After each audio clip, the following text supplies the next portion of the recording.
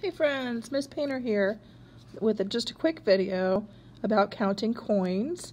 Uh, I know we've talked about counting coins before, but that was uh, when you're counting coins that you can move around or hold in your hand.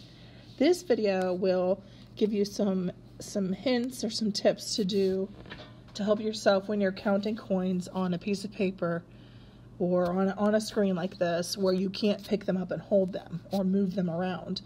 Okay, so what I would do, um, well, first of all, this is just a, um, these are counting pennies and nickels. So we have two different coins here. So when you're counting two or more coins, it's very important that you are um, counting them in the correct order so you don't get confused. And also making sure that you don't count things more than once. Okay?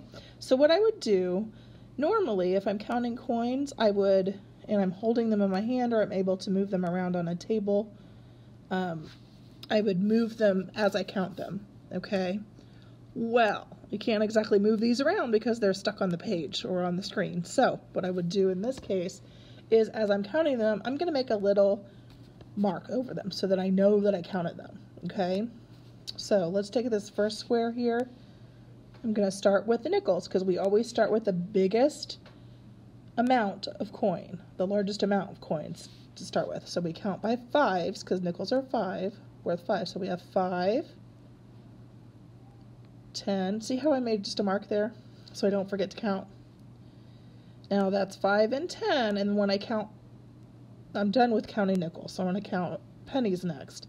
I'm going to count on with the pennies because we count on one more because pennies are worth one more. Or pennies are worth one. So we have five, 10, 11, 12, 13. So in that little box there, I'm going to write 13. And then remember, the cent sign is very important. It's a little C with a line. All right, we're going to do the second group of coins in that second box there. Remember, we're starting with the nickels because they're worth 5. They are worth 5 and the pennies are worth 1. So when we pick the largest coin amount and we start there. So we're going to count the nickels. 5, 10, 15. Count on the pennies.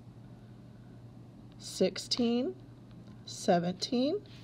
No more. So our amount is 17. 17 cents.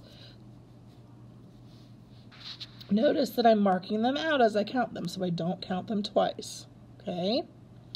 All right, next the very last box. We're going to do that now.